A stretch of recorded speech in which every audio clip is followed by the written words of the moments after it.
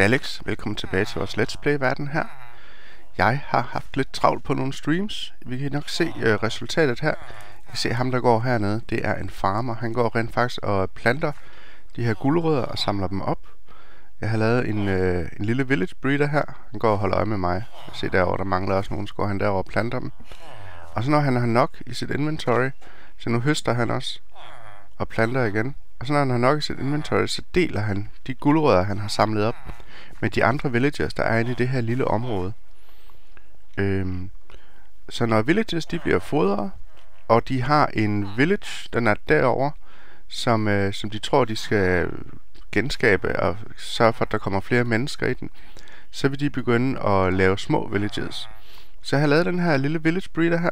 Det er et 9x9 område med en vandkilde i midten, og på den vandkilde der er en trapdoor, som I kan se derinde. Og så to blokke op, der har trapdoors her rundt i øjenhøjde for den her zombie pigman, der står herinde.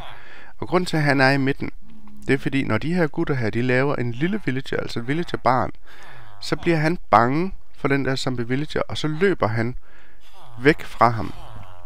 Og her under er der en en høj blok gap, med trapdoors hele vejen rundt, så han vil løbe ud over, og så vil han falde ned i de her vandstrømme, som skubber ham herhen, og så ender han med at stå nede i det her hul, fordi han kan komme under her. Der er så en en høj luftlomme her, fordi det her lige her er der en... Øh, er der ikke? Jo. Jeg ved ikke, om I kan høre det, men der er en trapdoor, eller en øh, pressure plate her. Sådan. Og det vil sige, at der er en en høj luftlomme dernede, og der kan de der villagerbørn, de kan så stå derinde, og når de så vokser op, så kommer deres hoved op i den her vandkilde. Og ovenover den er der endnu en vandkilde, og så svømmer de bare op og går ud, ligesom ham her, han har gjort. Så vi har begyndt at få nogle villagers her på øen. Jeg byggede den her i en livestream. Den er ikke særlig kompliceret. I kan se alt, hvad der er her. Og så heroppe, der har jeg en, øh, en, lille, en lille landsby, seks døre, og så en villager mand deroppe, der ligesom repræsenterer den der landsby. Og de gutter, der er hernede, de vil forsøge at repopulere den her landsby her, og sørge for, at der kommer flere villages. Og når de så bliver fodret samtidig, af ham, der render rundt hernede, det er jo en toolsmith, af ham her, som er en farmer, så laver de flere, og de kommer så op og begynder at gå rundt på øen. Og I kan se, vi har en der, jeg har myrdet en del af dem allerede. Vi har også en hernede, han er cartographer, han har ikke noget ved, men han har en rimelig billig okay paper trade, så jeg har lige beholdt ham. Jeg har også haft en, øhm, øh, en uh, librarian, men han havde to Curse of Vanishing bøger som hans trades, og de er ikke noget ved. Så, øhm, så dem, har jeg, dem har jeg slået ihjel simpelthen bare ved at øh, sætte ild i, på den blok, de står på. Så registrerer det nemlig ikke som om, at jeg har slået dem ihjel med et svær for eksempel. Jeg ved ikke om dem her, de vil begynde at lave flere. Det håber jeg, de gør snart, fordi den har været gået lidt i stå. Og jeg ved ikke, om det er, fordi de andre, de går stadigvæk rundt her i området, eller hvorfor. Men jeg tror bare, at lade den stå og køre. Vi skal også bruge dem her på et tidspunkt, når vi laver en iron farm. Jeg tror måske, jeg vil lave den derovre. Det ved jeg ikke helt endnu. Der er en graphical glitch der. Kan se nede i vandet? Nå, det er underligt. En anden ting, jeg har været i gang med, det er, at jeg har været i gang med at udvide græsset her på øen. I kan se her på kortet. Jeg har fået øh, hele den der øh, gjort til græs, og det der var heroppe. Og så var der, jeg havde lavet sådan en, øh, en plade ud her, og en sti over til den der ø. Dem har jeg fjernet og samlet jorden op igen. Og så har jeg begyndt at putte græs rundt langs kanten her. Og så på et tidspunkt, så hælder jeg vand. Jeg hælder nok vand på den der ø først, og så på det der bagefter. Men det er sådan noget meget bakket terræn, så det bliver lidt mere bøvlet. Så har jeg lavet noget andet. Øhm, vi skal lige prøve at løbe herned og kigge. Whoop, hvis vi hopper herned. Bum. Og så vil jeg hen til min, øhm, min slimefarm her havde. Der har han nemlig sat en, øhm, en iron golem op. Og en iron golem øh, ved de der slimes forsøge at slå ihjel. Så det kan være, at vi endda kan se det. Nej, det kan vi ikke. Okay, men der står en egen golem her. Er der en slime et eller andet sted? Jeg synes, jeg kan høre en. Hvor er han hen? Hallo? Kan I høre ham? Øhm, er han heroppe måske? Nej, jeg ved ikke, hvor han er henne. Måske ovenover. Nå. Men de vil så gå hen imod den her Iron Golem, og forsøge at komme op til ham og stå og hoppe, og så knupper de sig op og ned af den her kaktus, og så dør de, og deres items bliver samlet op i de her hopper, og bliver puttet i den her kiste her. Så vi er begyndt at samle øh, masser af slimebolde sammen, og det er rigtig fedt. Jeg ved ikke, hvor ham der han er henne. Jeg vil lige se, om jeg ikke kan finde ham. Nå, jeg kan ikke lige finde ud af, hvor han er henne. Ham der, jeg har gravet og gravet og gravet. Øhm, jeg har faktisk gravet en etage mere heroppe. Og så forsøgt at grave heroppe i loftet. Han er her et eller andet sted, men jeg ved simpelthen ikke, hvor han er henne. Men det, er også, det gør ikke så meget. Altså, han må gerne hoppe rundt deroppe. Det betyder ikke noget. Øhm, så nu har jeg en etage mere. Jeg ved ikke, om det er lidt farligt for ham her. Om slimes eventuelt skal hoppe ned på ham herfra, og så gøre skade på ham. Det ved jeg ikke. Jeg tror vi skal have... Øhm, tror vi skal have sådan en lille... Jeg ved ikke, om de så ikke kan se ham måske. Det ved jeg ikke. Jeg tror, vi lader den stå åben her. Sådan. Og hvis den så dør, så må vi lave en ny, og så må vi lukke her. Men nu er der i hvert fald tre etager hernede. Øhm, og nu kan vi få masser af slimes. Lad os lige tage dem her med op, så mange af dem jeg nu kan bære. Så jeg vil bare lige vise jer, at øh, jeg har forstillet en, en egen golem op der. Og det, det er begyndt at virke, og vi får masser af slimeballs. Det er fedt. Der er stadigvæk ikke kommet nye villagers herinde. Der burde også kun være to herinde. En farmer og så en anden. Og ham her, han er temmelig useless butcher, så jeg ved ikke lige, om jeg skal se, om jeg kan skaffe mig af med ham. Øhm, så ham der, han går og planter. Hvis nu hopper herned, og så vil lige tage den der væk. Kan jeg sætte ild i den der blok, han står på? Hjælp! Hvorfor? Ah, Minecraft flipper ud. Okay, sådan. Kan jeg, jeg kan ikke sætte ild på den blok der. Øhm, hvad nu hvis jeg hopper på den? Ej. Hvis jeg kan sætte ild på ham her, det ville være godt. Kom nu! Se om vi kan få sat ild på ham. Kan du gå derind på den der? Sådan. Fordi så burde det nemlig ikke tælle. Vi har stadigvæk vores, øh, vores farmer. Og ham her, han er sådan en toolsmith. Så nu skal vi sådan bare lige have ryddet op i det herinde. Så døde han. Så håber jeg, at det hjælper. Ja, nu skal jeg så bare lige ud og have hentet min... Øh, min, øh, min hoe. Og så skal jeg have fikset det her igen. Og så håber jeg snart, at de begynder at lave nogle flere babyer. Fordi jeg har ikke set nogen i et godt stykke tid. Det er meget mystisk. Så er det fikset. Jeg så lige ham der, han smed en stak guldrødder. Ham der, han så godt nok ikke samlet dem op. Men det betyder, at han deler igen. Jeg ved ikke, om han ikke gjorde det før. Han kan lige få nogle af mine, selvom han vil have dem. Det vil han gerne. Kan I ikke, kan I ikke knuppe næser og lave små babyer? Please, pretty please. Jeg kunne godt tænke mig... Okay, jeg går igen. De er åbenbart generte. Hmm. Men ja, øh, jeg har bare hovedet herinde igen. Og så ham farmeren, han skal nok rundt og plante igen, fordi de har plads til, jeg mener det er otte stakke ting, de kan have i deres inventory, og det er derfor, det er vigtigt, at det ikke er wheat, de har herinde, fordi så vil han fylde hele sit inventory med seeds, øh, og lave det der hvede om til brød, øh, og så på et tidspunkt, så kan han ikke plads til andet end seeds i sin inventory, så hvis du planter kartofler eller gulerødder, så vil han blive ved med at gå rundt og øh, høste og plante, og så dele det, han, øh, han samler op sammen med sine andre villages. Ja, jeg håber snart, de laver flere babyer. Kom nu! Nu har jeg slået de andre villages ihjel, der var her på øen. Der var ikke nogen af dem, jeg havde lyst til at gemme på nær ham der. Han er den eneste, der er tilbage, så nu håber jeg, det hjælper. For øvrigt, øh, de her villages, som har jeg fået herind. Jeg kan huske, jeg havde tre herovre i et lille hul i jorden for sidste gang, og så har jeg bare bygget det her, og så lavet øh, sådan en jordrampe, og så kørte dem herop med, med sådan nogle vogne. Og det samme med den der. Og ham der, ham hentede jeg i, øh, i Nether, også med en minecart-vogn, og kørte ham hen til Nether-portalen, og så kørte ham herover og lod ham falde ned i det der hul. Øhm, og en ting, der er vigtigt, det er, at han skal have et name tag, og jeg har kaldt ham bøgemanden, fordi han skræmmer børnene hernede, når de bliver født. Så ser de ham her øh, monster, de kan kun se hinanden, hvis øjnene på et mob og øjnene på det, de kigger på, hvis de kan se hinanden, så kan monsterne, og, eller en mob se en anden mob. Og det samme gælder for spilleren dig, og så andre monster og sådan noget. Så fordi at øjnene, hans øjne er dækket af de her trapdoors, så er de her ikke bange for ham. Eller så vil de være bange for ham, ligesom han var en, øh, en zombie. Men når øh, de små børn de bliver født, så er de jo lavere, og deres øjne er lavere nede. Og de kan så se op under trapdooren og se ham her, og så spænder de øjeblikkeligt væk og falder ned i vandet her. Og det er derfor, han står derinde og er dækket af de der trapdoors. Og nu skal I lave nogle børn, hører I? Kom så i gang. Hey. Som I kan huske sidste gang, der slog vi en Wither ihjel, og vi fik den her Wither Star. Øhm, og det vil sige, at vi kan lave et øh, beacon, hvilket er dejligt, men jeg har ikke nok blokke til at lave et fuldt beacon. Og det vil jeg selvfølgelig gerne have. Øhm, og for at have et fuldt beacon, så skal du have to stakke af blokke af enten jern eller guld, eller emerald eller diamonds, og så 36, og jeg har ikke nok her. selvom jeg lægger de her sammen. Det vil sige, at jeg skal ud og mine noget mere.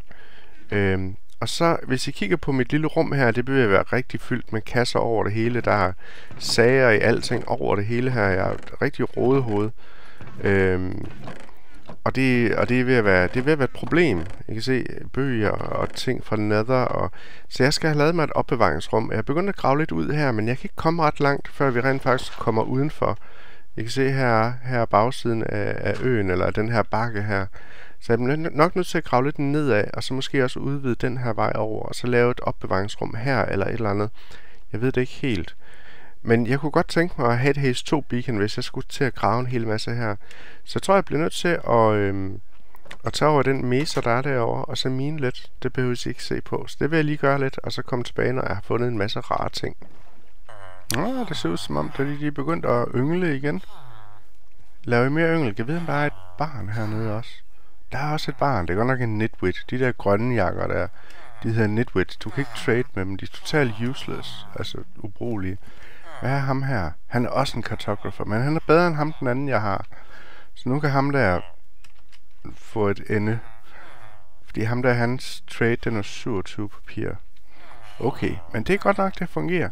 Jeg, øh, jeg har været over og mine lidt. Jeg har faktisk fundet, øh, prøv at se, jeg har fundet 26 diamanter. Så dem tror jeg lige, jeg vil, jeg vil pakke ud, hvis man kan sige sådan. Og så se, hvor meget jeg får ud af det. Det er spændende. Hvad fik vi? 63. Det var rigtig godt. Det var fedt. Så er vi at have godt med diamanter. Jeg havde også øh, næsten en stak i forvejen. Så det er rigtig fedt. Og så fik jeg selvfølgelig noget, noget guld og noget jern. Ikke så meget godt nok, men øh, fik masser af diamanter. Det er fedt. Jeg vil se, om jeg har nok nu til at lave sådan et øh, beacon, så jeg kan få sat det op et eller andet sted. Jeg tror, jeg har lige nøjagtigt nok her. Så jeg tror, jeg vil prøve at... Øh, her er min vej ned til bunden til min mine, og så har jeg gravet op her, så der er hul til, til himlen. Så hvis vi nu lige falder herned, plup, og så vi stiller et beacon hernede, måske med toppen lige her, og så jeg graver ud her, så burde det kunne være hernede. Så det vil jeg lige, øh, det vil jeg lige arbejde på. Det ser ud som om jeg lige nøjagtigt har nok her. Var det fedt. Det er godt nok, det er alt hvad jeg ejer det her. Men lad os prøve at se. Okay, der kom et beacon, og så siger vi haste 2. Ja tak. Og så fik jeg nogle øh, bring home the beacon, construct a place a beacon. Bring a beacon to full power. Okay, det har vi så gjort, og nu har vi haste 2. Okay, øhm, nu har jeg godt nok kun cobblestone, fordi jeg brugte den forkerte hakke her. Hov. Sådan, og sådan. Og så skal vi lige øh, lave et eller andet her. Men nu har vi, øh, nu har vi haste 2. Det vil sige, at jeg burde kunne, hvis jeg lige tager den rigtige hakke. Yeah, baby! Så skal der minus rigtig, rigtig, rigtig meget, så vi kan få noget af alle de der ting tilbage igen. Alle mine, øh, mine guld og mine diamanter, eller guld og jern. Det er rigtig fedt. Jeg elsker det her speedmining her. Og den rækker 50 blokke i alle retninger. Øhm, sådan en fuld beacon der. Og så gør den det ud fra strålen. Det vil sige hele vejen op, hvor strålen går. Hernede der rækker den 50 blokke den vej, den vej, den vej, den vej. Og 50 blokke ud fra strålen, også nedad. Men hele vejen op i toppen deroppe, der rækker den også 50 blokke ud. Så det burde være det meste af øen. Det er rigtig fedt. Endnu en nitwit. Prøv lige at se, hvor lidt de gør for at passe på sig selv. De har overhovedet intet overlevelsesinstinkt. Han står der i flammerne og kigger på mig som om, at... Øh, hvad sker der her? Så, kan I lave en ny og bedre den her gang? Og han går stadigvæk og høster, det er glimrende. Hvad, hvad er du for en? En Fletcher. Okay, så skal vi have lavet en, øh, en æderkoppefarm. Og du er en bedre cartographer. Det er godt nok. Nå, jeg har fået minet en hel masse. Lad os lige sætte dem her tilbage. Jeg har sådan to til at stå her, fordi når de så kommer op dernede fra, så er der en god chance for, at de bliver fanget i en af dem der, så kan jeg se, hvad med dem der er. Jeg har fået minet en hel masse. Jeg har fået en lille smule af mine øh, ressourcer tilbage igen. Øhm, og så reparerer den her to gange nu. Se, vi har lidt jern, lidt mere jern og lidt guld der. Så det er godt nok. Men øh, det, tog, det tog hårdt på mit stok her. Alt det hele, det er bare væk. Jeg er helt vildt fattig som sagt, så er det her lille opbevaringsrum her, det er ved at være noget værre råd. Jeg kan slet ikke være her. Så øh, jeg har været i gang med at grave lidt ud her. Det gør en forskel, når man kan instant mine. Og så tænkte jeg, at jeg kunne stille nogle kister herover, måske herover på et tidspunkt. Jeg ved ikke helt, hvad der skal være i det her rum. Nu prøver jeg lige at grave det ud, bare lige sådan, så det ikke øh, bare er sådan en firkantet kasse. Og så har jeg fået lavet nogle kister her, og så tror jeg, jeg vil prøve at stille dem sådan her. Og så sætte nogle, øh, sætte nogle skilte på dem, så vi, kan, så vi kan se, hvad der er i dem. Ja. Øhm, det her det er selvfølgelig nedgangen ned til min mine. Jeg har ført for at grave lidt mere ud hernede. Au. Åh, oh, det ser anderledes ud nu. Okay. I ser, jeg har gravet lidt ud hernede. Jeg bliver nødt til at stoppe, fordi min hakke her der er ved at være slidt helt op. Øh, og man får hurtigt fyldt nogle kasser op med ting her. Så. Men jeg skal grave meget mere her. Det vil jeg bare gøre off-cam. Så tror jeg, jeg vil arbejde lidt videre på det der rum deroppe nu. Jeg har lavet nogle ændringer her. Øhm, den her gang her, der var bredere før, og øh, det her rum her, det var også bredere. Jeg har skubbet, taget den her væg længere ud, hvis det giver mig, jeg ved ikke, om det giver nogen mening. Men jeg vil prøve at se, om jeg kan få et eller andet til at fungere her. Jeg ved ikke helt.